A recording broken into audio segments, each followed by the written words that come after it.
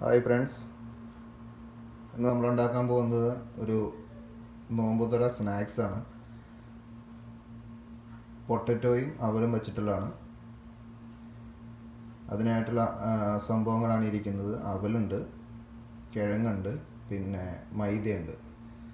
പിന്നെ കുറച്ച് ഉപ്പ് മതി. അപ്പോൾ ഇതുണ്ടാക്കുന്ന മെത്തേഡ് എങ്ങനെയാണെന്നുള്ളത് നമുക്ക് നോക്കാം. ഇതിനെ നമുക്ക് ആദ്യം കിഴങ്ങിനെ വേവിക്കാൻ വയ്ക്കണം നല്ലതുപോലെ വേവിച്ച് അതിനെ ഉടച്ചെടുക്കാനുള്ളതാണ്.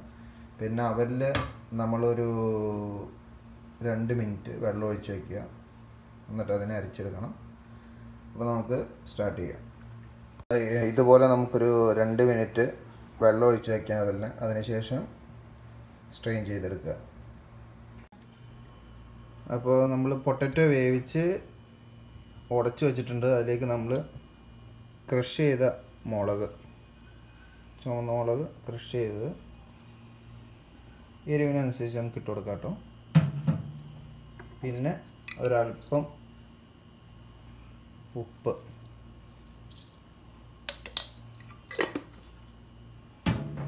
ഇത് ജസ്റ്റ് ഒന്ന് മിക്സ് ചെയ്ത് കൊടുക്കുക.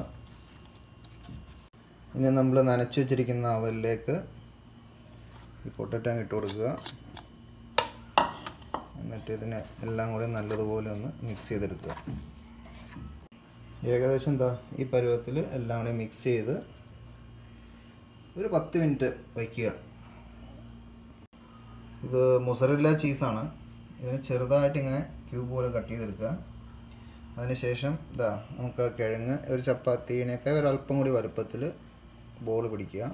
എന്നിട്ട് ഇതിന്റെ സെന്റർ ഒന്ന് ജസ്റ്റ് ഇങ്ങനെ ഒന്ന് കുഴിച്ചു കൊടുക്കുക.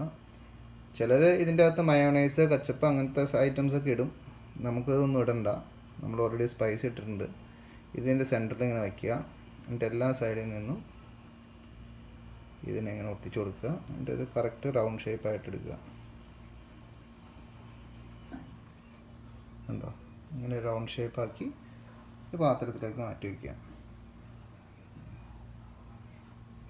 നമ്മൾ ആദ്യം എടുത്തു വെച്ച മൈദേനെ ഇതാ ഈ ഒരു ചെറിയ വെള്ളം ലൂസായിട്ടുള്ള വെള്ളം മോഡൽ വെള്ളത്തിന്റെ മോഡലിൽ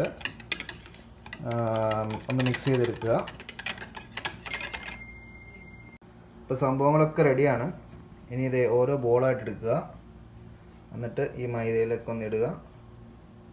ഒന്ന് റോൾ ചെയ്യുക. അതിൽ നിന്ന് എടുക്കുക. ബ്രെഡ് ക്രംസിലിടുക ക്രംസ് ഒന്ന് റൊട്ടേറ്റ് ചെയ്ത് കൊടുക്കുക. എന്നിട്ടതേ ഒരു പാത്രത്തിൽ ചെയ്തിട്ട് മാറ്റി വയ്ക്കുക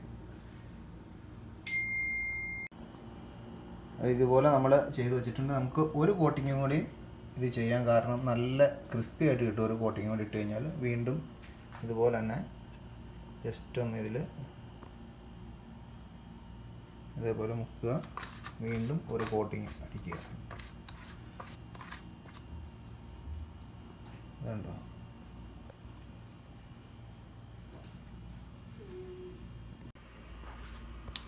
അപ്പോൾ നമ്മുടെ എണ്ണ നല്ലോണം ചൂടായിട്ടുണ്ട്. നമുക്കിത് പൊരിച്ചെടുക്കാം.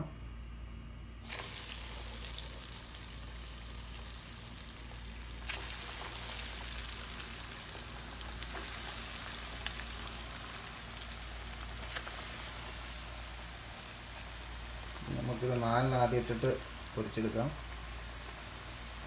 സ്ലോ ഫയർ ആക്കിക്കൊണ്ട് വേണം കേട്ടോ പൊരിക്കാൻ. കാരണം അതിന്റെ ഉള്ളിൽ ചീസ് ഉള്ളതുകൊണ്ട് ഓവർ ഹീറ്റ് ആയി ചിലപ്പോൾ ചീസ് പൊട്ടി പുറത്തേക്ക് വരാൻ സാധ്യതയുണ്ട്. സോ എപ്പോഴും സ്ലോ ഫയർ ആക്കി വേണം അത് പൊരിക്കാൻ. നല്ല ബ്രൗൺ കളറായിട്ടുണ്ട് നമുക്ക്. പതുക്കെ അതിനെ എടുക്കാൻ നല്ല ക്ലിയർ ആയിട്ട് കിട്ടിയിട്ടുണ്ട്. ഒരു ടിഷ്യൂ പേപ്പർ വെച്ചിട്ട് നമുക്ക് അതിലേക്ക് വയ്ക്കാം അപ്പോൾ നമ്മുടെ അവൽ ക്രൊക്കറ്റ്സ് റെഡി ആയിട്ടുണ്ട്. എന്താ ചീസൊക്കെ നല്ല കറക്റ്റായിട്ട് ഇരിക്കുന്നുണ്ട്. നല്ല ടേസ്റ്റ് ആയിട്ടുള്ള സംഭവമാണ്. എല്ലാവരും ട്രൈ ചെയ്യുക. ഇതുവരെ എന്റെ ചാനൽ സബ്സ്ക്രൈബ് ചെയ്യാത്തവർ സബ്സ്ക്രൈബ് ചെയ്യുക. പുതിയൊരു വീഡിയോയുമായി നമുക്ക് ഉടനെ കാണാം.